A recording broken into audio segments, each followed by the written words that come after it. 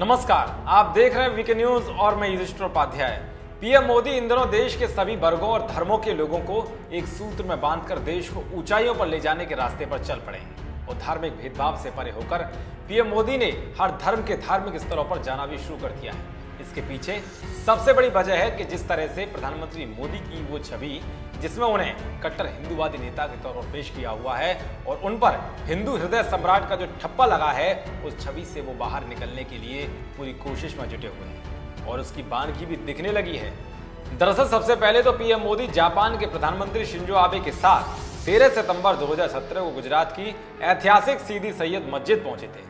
ये पहला मौका था जब मोदी ने हिंदू मुस्लिम एकता की मिसाल पेश करके देश की किसी मस्जिद में शिरकत की, जिसके बाद फिर पीएम मोदी ने साल 2018 में 14 सितंबर को इंदौर में दाऊदी बोहरा समुदाय के धार्मिक कार्यक्रम में शिरकत की थी और धर्मगुरु सयादाना साहब से मुलाकात की थी और दाऊदी बोहरा समुदाय के लोगों को संबोधित भी किया था। साथ ही दाऊदी बोहरा समाज के किसी धार्मिक कार्यक्रम को संबोधित करने वाले देश के पहले प्रधानमंत्री मोदी ही थे।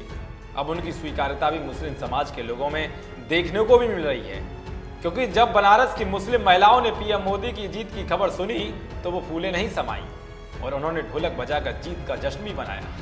इन सब बातों का ज़िक्र इसलिए कर रहे हैं क्योंकि अब नरेंद्र मोदी भी मुसलमान बन गए हैं। वो इसलिए क्योंकि जीत के बाद एक मुस्लिम महिला मोदी की इतनी मुरीद हो गई कि उसने अपने बच्चे का नाम नरेंद्र दामोदर दास मोदी ही रख दिया। यानी कि अब देश में हिंदू धर्म और मुस्लिम धर्म दोनों में ही नरेंद्र मोदी हो गए हैं। मामला गोंडा ज़िले के बजीरागंज कस्बे के परसापुर महरौर का है, जहाँ मैनाज नाम की मुस्लिम महिला ने नतीजे वाले दिन ही, यानी कि 23 मई को बच्चे को जन्म देकर उसका नाम नरेंद्र दामोदर दास मोदी रख लिया। हम उनके उसे खुश हैं और क्या इसीलिए मैंने रख दिया। नरेंद्र मोदी नाम हमें पसंद था, उनके काम से हम सब लोग खुश हैं। यानी कि नरेंद्र मोदी भले ही मुस्लिम टोपी पहनने से परहेज करते हों, लेकिन दूसरे नरेंद्र मोदी आपको टोपी में ही मिलेंगे। यानी कि अब मुसलमान भी ताल ठोक कर कह सकेंगे कि हमारे पास भी मोदी हैं। जिस तरह से मुस्लिम समाज के लोग भी अब पीएम मोदी के मुरीद होते दिख रहे हैं, उस पर आपकी क्या राय है? कमेंट बॉक्स में ज़रूर बताएँ।